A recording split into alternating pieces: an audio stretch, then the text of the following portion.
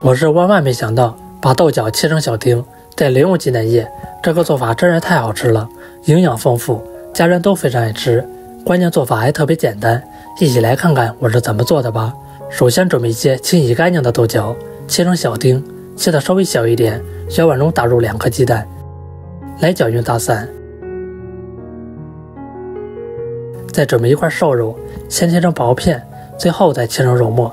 如果喜欢吃肥肉，也可以加一点，这样吃起来会更香。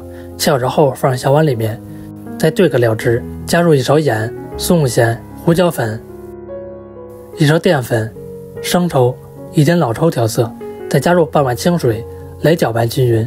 这么一道料汁就调制好了，提前兑出来，有时在操作的时候就比较方便了。锅中烧水，加入一点食用油。水开之后，放入豆角来焯烫一下，因为豆角不容易熟，提前焯烫一下，吃起来也比较健康。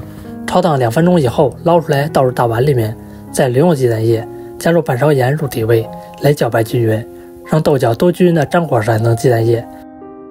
锅中加入一些食用油，再倒入豆角，来整理平整。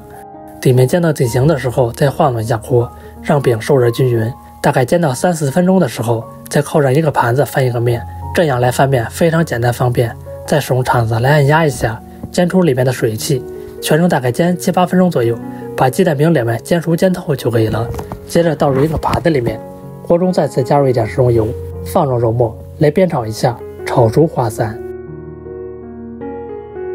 再倒入一点料酒、葱姜末，继续来煸炒一下，炒出香味。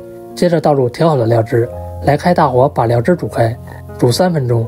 咱们一直炒到稍微粘稠的程度就可以了。接着再淋入到豆角鸡蛋饼上面，这么一道豆角鸡蛋饼就做好了。这样做的豆角好吃又营养，吃起来也是非常下饭。